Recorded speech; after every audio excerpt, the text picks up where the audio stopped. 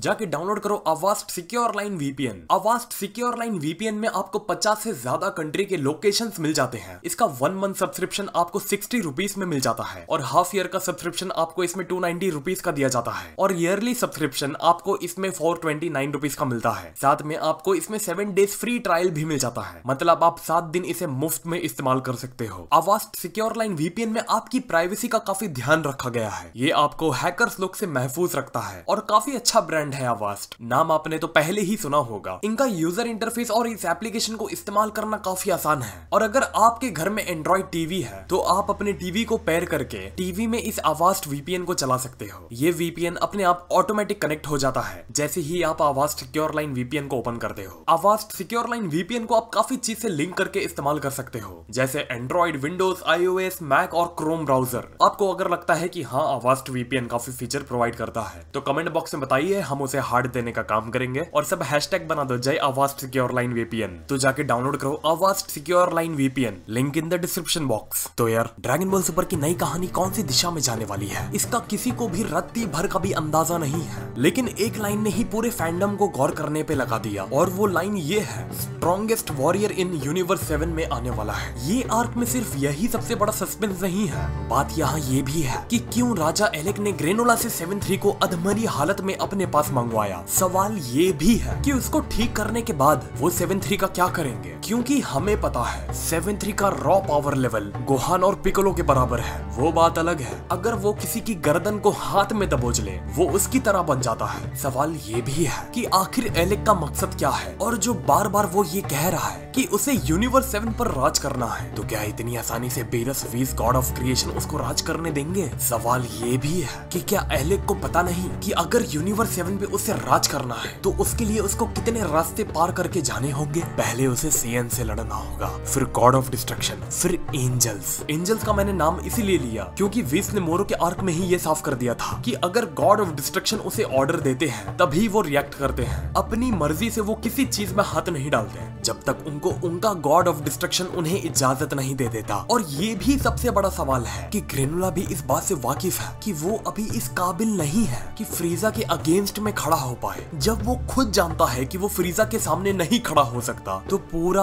Arc इस शख्सियत के नाम पर क्यों कर दिया गया है? और ये भी सवाल है, ग्रेनुला फ्रीजा के अगेंस्ट में जाएगा, और क्या एलेक फ्रीजा को बैकडोर से अपने साथ मिलेगा? या ग्रेनोला के साथ एलेक भी फ्रीजा के खिलाफ में खड़ा होगा? और सवाल ये भी है कि अगर ग्रेनोला एलेक फ्रीजा और सेयंस के खिलाफ खड़े होते हैं तो क्या फ्रीजा सेयंस का साथ देगा? जैसे उसने टूर्नामेंट ऑफ़ पावर के दौरान दिया था। क्योंकि बात उसके अकेले के जान की नहीं है, उसकी जान दोनों तरफ़ से फंसी हुई है। अगर यूनिवर्स सेवन पर एलेक अपनी हुकूमत कायम करता है तो फ्रीजा को उसके नीचे का गुलाम बन के रहना होगा। अगर एलेक के साथ फ्रीजा नहीं जाएगा तो उसकी जान का प्यासा ग्रेनोला भी आज़ाद घूम रहा है। और सेयंस अगर एक साथ आएँगे तो गोकू वेजिटा को ब्रॉली को भी ढूंढ के निकालना पड़ेगा। अब देखो, ये थे सारे सवाल इस आर्क के, कि कितनी खूबसूरत तरीके से इस आर्क ने अपना बेस बनाया है। ना कि मोरो आर्क के तरह, सर ना पैर और कुछ भी हो जा रहा है। अब हर किसी का तो सीधी सी बात है, मैं जवाब नहीं दे सकता। लेकिन जहाँ तक बात है सेवन थ्री की कि क्या वजह हो सकती है कि एलेक ने सेवन थ्री को अधमरी हालत में अपने पास मंगवाया। तुम और हम ये साफ़ जानते हैं। मोरो ने जब सेवन थ्री को ऑब्जॉर्व किया, तब आखिरी में मोरो के पास एंजल्स की पावर्स थी। हो सकता है कि मोरो के मरने के बाद,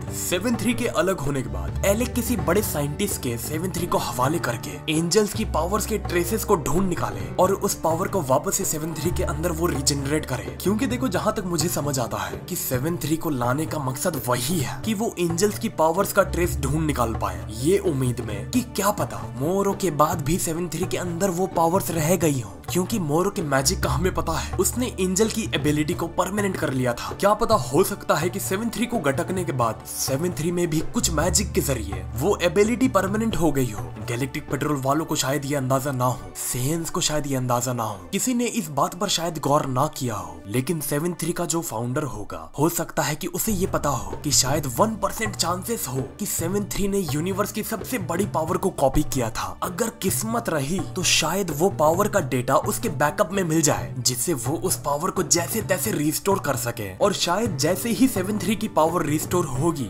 वही शख्स स्ट्रॉन्गेस्ट वॉरियर इन यूनिवर्स के रूप में पैदा होगा। अब बात रही कि लेकिन वीस ने कहा था अल्ट्रा इंस्टिंग और एंजल्स की पावर को हजम करना हर किसी की बात नहीं। ये भी हो सकता है की सेवन का जो क्रिएटर होगा, वो उसे इस तरीके से अपडेट कर दे कि सेवन का जिस्म एंजल्स की पावर तक को होल्ड करने की क्षमता रखता हो। और देखो, मैं ये थियोरी इसलिए दे रहा हूँ कि क्यों हो सकता है कि वो सेवन थ्री के अंदर एंजल्स की पावर को रिस्टोर करेंगे। इसका एक और सबसे बड़ा हिंट ये है वीस का ये कहना कि उसके और मेरस के पावर लेवल में ज़मीन आसमान का फ़र्क है तो इससे मेरा शक इस तरफ़ जाता है कि शायद हाँ वो जो वॉरियर होगा, अगर उसमें एंजल्स की पावर होगी तो वीस के नीचे होगी। फिर वीस का ये कहना कि सबसे ऊपर का किसी को दर्जा दिया गया है हम एंजल्स में तो वो है ग्रैंड प्रीस्ट तुम समझ सकते हो मैं कहना क्या चाहता हूँ। शायद वो राइटर ने हमें रिमाइंड करने के लिए तभी वीस से बुलवाया हो। कि उसके और मीरस के पावर लेवल में ज़मीन आसमान का फ़र्क है, क्योंकि न्यू वॉरियर अगर एंजल्स की पावर के ज़रिए बनता है तो गोकू और वेजिटा के जहन में ये बात रहे कि इस जग से लड़ने का मतलब ये है कि मीरस से लड़ना, और वो भी जो वॉरियर होगा, अगर वो एंजल्स की पावर से पैदा होता है तो वो भी मीरस के पावर लेवल के हंड्रेड परसेंट पर होगा। तो गोकू के लिए या किसी और के लिए सबसे बड़ा टास्क ये होगा कि वो अपने को कम से कम मीरस के पावर लेवल तक और उसके ऊपर जा सके। अब तुम कहोगे, लेकिन गोकू ने तो मोरो को सरपास कर दिया था। जबकि उसके पास मीरस की पावर्स थी तो ये बात को ध्यान रखो। मोरो ने ढंग से मीरस की पावर को इस्तेमाल नहीं कर पाया। और वीस ने ये भी कहा था, तुम अल्ट्रा इंस्टिंग का अभी वन परसेंट भी नहीं जानते। और एंजल्स के पावर लेवल में ज़मीन आसमान का फ़र्क होता है। और उसने भी मीरस का एग्ज़ाम्पल दिया कि खास करके मेरा और मीरस के पावर लेवल में बहुत फ़र्क है, और जिसको उठा के लेके गए हैं सेवन थ्री को,